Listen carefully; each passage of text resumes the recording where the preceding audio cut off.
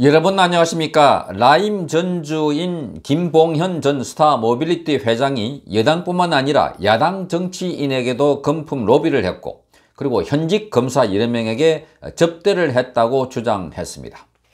그러자 추미애 법무부 장관은 즉각 이날 오후에 충격적인 폭로라고 말하고 김 씨 편지에 적힌 접대 검사들에 대한 법무부 감찰을 지시했습니다. 더불어민주당도 논평을 통해서 이 사실이라면 매우 충격적이라며 검찰은 라임 사태의 수사 진행 과정에서 윤석열 검찰총장의 개입은 없었는지 수억 원대 로비를 받은 검사장 출신 유력 야당 정치인이 누구인지 철저한 수사를 통해서 밝혀내야 할 것이라고 말했습니다. 이 앞서 김봉현 씨는 지난 8일 어, 지난해 7월 강기정 당시 청와대 정무수석에게 줄 돈 5천만 원을 이강세 씨에게 건넸다고 했는데 이날 로비 의혹 화살을 돌연히 야당과 검찰을 향해 돌린 것입니다. 자, 김 씨가 오늘 이렇게 옥중에서 어, 서신을 통해서 밝혔다고 하는 내용인데 이게 지금 큰 파문을 일으키고 있습니다. 아무래도 공작 냄새가 매우 많이 나 보입니다. 공작 냄새. 자, 이런 내용을 다시 한번 여러분께 소개해 드리겠습니다. 김 씨는 이날 어, 일부 언론에게 보내, 보낸 A4 용지 5장짜리 편지에서 라인 펀드 관련 우리 은행장 청탁으로 어, 검사장 출신 야당 유력 정치인에게 수억 원을 지급했다. 그리고 지난해 7월쯤 A 변호사의 소개로 현직 검사 3명에게 서울 청담동 룸사롱에서 천만 원 상당의 접대를 했고 그중 한 명은 실제 라임 수사팀에 투입됐다라고 말했습니다.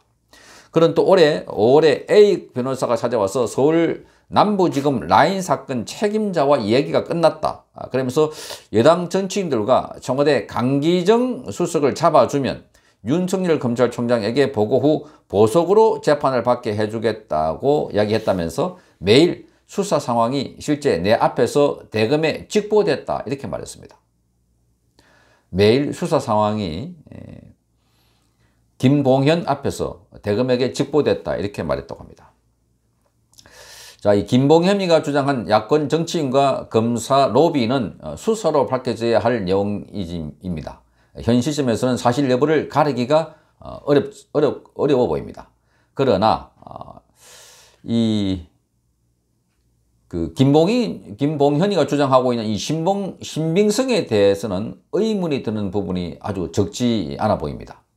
우선 수사 상황이 매일 내 앞에서 대검에 보고됐다는 진술과 관련해서 검찰 출신 변호사들은 어, 수사 상황은 모아서 주기적으로 보고를 하지 실시간으로 보고하는 일은 없다. 아, 따라서 어, 피의자 앞에서 어떤 검사가 수사 상황을 보고하겠냐라고 말했습니다. 또 검찰 관계자는 어, 김봉현 주장대로 실시간 보고가 이루어졌다면 왜 강기정 수석에게 5천만 원 수수 의혹은 보고가 안 됐는지 의문이 든다 이렇게 말했습니다. 강기정에게 5천만 원을 줬다 하는 그런 김봉현 김봉현의 그런 주장에 대해서는 왜 보고가 안 됐나 하는 의문이 든다고 했습니다. 또 서울 남부지검 라인 사건 책임자와 얘기가 다 끝났다 말을 들었다고 했는데 김봉현 진술에 대해서는 당시 수사 책임자에 있던 송삼현 전 서울 남부지검장은 모두 처음 듣는 얘기라고 말했습니다.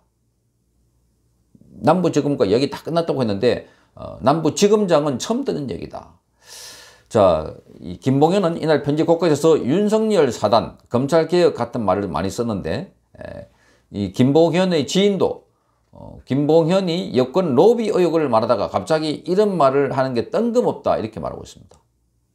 그러면서 검찰 주변에서는 여당 논평에서 자주 나오는 단어들이라 이렇게 말하고 있습니다. 음? 윤석열 사단, 검찰개혁 이런 것들은 더불어민주당에서 논평을 할 때 자주 나오는 단어들이다. 자, 그렇다면 이 김봉현이가 어, 자기 말로 쓴 것인가 아니면 더불어민주당과 관계 있는 이런 편지인가 하는 의심을 갖지 않을 수가 없습니다. 자, 오늘 일부 언론에서 보도한 이 김봉현이가 주장했다고 하는 이런 그 편지가 바로 이런 것입니다. 여기에 뭐 주절주절 이렇게 써놨습니다. 자세하게는 잘 볼 수 없지만 하여튼 이 내용이 제가 읽어드린, 읽어드린 그 기사의 내용들이 들어있는 것입니다. 뭐 라임 미공개 사건 발생 2019년 6월 라임 사건 발생 이런 식으로 하고 본인이 메모를 해놓은 겁니다. 메모. 이게 갑자기 이제 오늘 튀어나오면서 일제히 이 기사를 어, KBS는 톱으로 다뤘고 세 꼭지로 다뤘습니다. 톱으로. MBC는 그 일본의 후쿠시마 뭐 원전수 관련된 그 다음 꼭지로 이걸 다뤘습니다. 두 번째 꼭지인가 해서.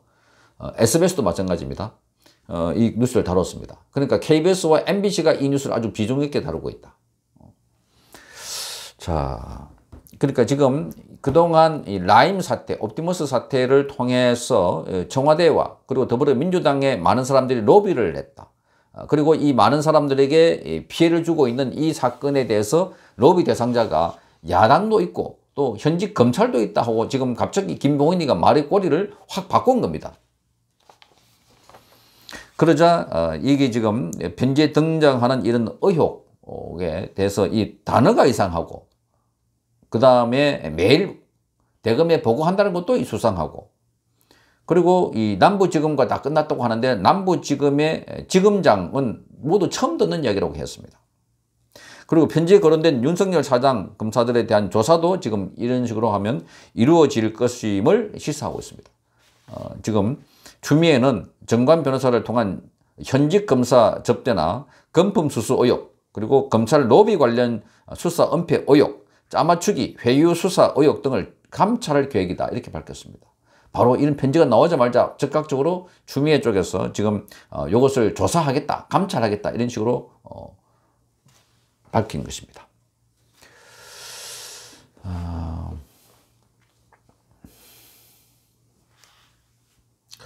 그리고 이제 이, 이 건에 대해서 어, 지금 어, 검찰 출신의 에, 이 변호사 김봉현, 김종민 변호사는 이게 이날 오후에 페이스북에 올린 글에서 결론적으로 검언유착, 검언유착이라고 한동훈 검사장과 채널 A 기자가 있었다고 했잖아요.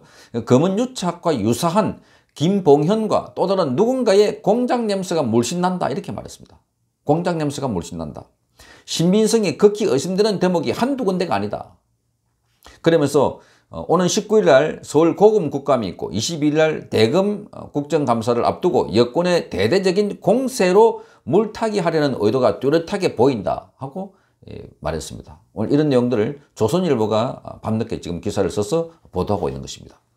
그러면서 김 변호사는 특수부 검사들이 그렇게 허술하지가 않다. 언제든지 대기업이나 정관계 고위 인사 수사를 해야 하는데 그들이 호시탐탐 반격할 기회를 노리고 있다는 점을 잘 알고 있기 때문에 약점을 만들지 않는다는 것입니다. 그러니까 쉽게 뭐, 어, 룸사랑에 가서 술도 먹고 얻어먹고 하지 않는다는 겁니다. 검사들이 그렇게 허술하게 처신하는 사람이 없다는 겁니다. 때문에 제대로 된 검사, 특히 고위직이나 특수부 검사들은 스스로를 어항 속에 든 금붕어라고 생각하고 있습니다. 일거수 일투족을 누군가가 항상 주시하고 있다고 생각하고 행동을 각별히 주의한다 하는 것입니다. 아.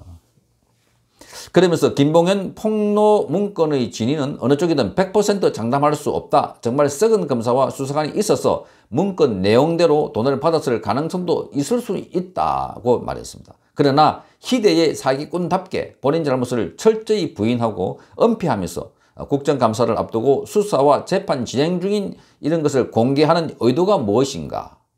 라임 펀드 사건의 본질은 1조 6천억 원 권력형 게이트 사기 사건이고 그 주범이 김봉현이라는 점에는 변함이 없다는 점을 잊어서는 안 된다라고 이 변호사는 말하고 있습니다. 그러면서 가장 주목되는 것은 어, 이렇게 말하는 것 자체가 지금 공작 냄새가 물씬 난다 하는 겁니다. 아까 여러 가지 논거를 썼죠. 왜 공장 냄새가 난다는 거.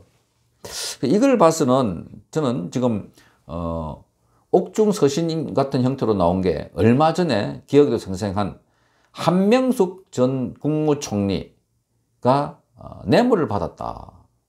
한신공영의 한만호 어, 대표로부터. 그런데 이 한만호가 감옥에 있으면서 편지를 썼는데 이른바 한만호 비망록이라고 해서 검찰의 회의에서 내가 어, 자백을 한 것이다. 그렇게 메모를 써놔놓고 한만호는 이미 고인이 되어버렸습니다. 그러니까 그 비망록이 전에도 있었고 그걸 비망록을 전조로 해서 재판을 다 했습니다. 거기 있는 내용에 비망록이 일관성도 없고 어, 그래서 그걸 다 감안해가지고 재판해가지고 한명숙이가 어, 징역을 살았습니다. 그런데 대법원 확정 판결 다 받고 살고 오는데 갑자기 한 명, 한만호의 비망록이 있다고 하면서 한명숙, 한명숙의 무죄를 주장하는 그게 어, 뉴스 타파 또 KBS 등 해서 일제히 방송에서 일제히 보도를 했습니다. 그와 아주 유사한 경우가 아닐까 하는 의심이 듭니다. 그러니까 김봉현이가 어, 지금 청와대와 여권 인사들이 개입되어 있는 이런 일파만파하고 있는 상황에서 그리고 어, 강기정이가 5천만 원, 강기정에게 5천만 원을 주라고 지시했다, 뭐 보냈다 하고 하고 있는데 갑자기 강기정이가 아주 자신감 있게 나는 받지 않았다 하면서 이 김봉현에 대해서 어, 정면으로 고소를 해버렸습니다. 그런 가운데 지금 갑자기 진술이 완전히 달라지는 그러니까 청와대와 여권 인사가 아닌 야권과 현재 검사들도 어, 돈을 받았다 하면서 이 물타기 하는 것이 아닌가. 이게 지금 음 공작 냄새가 물씬 풍긴다 하는 이야기가 바로 이 내용들입니다. 이 문재인 정권 들어서서 이런 그 분위기는 너무나 많았습니다. 뭐 선거만 하더라도 부정선거 의혹, 그리고 어, 댓글 조작 어, 의혹. 이미 뭐 다 수사해서 지금 드루킹은 감옥에 가 있지 않습니까?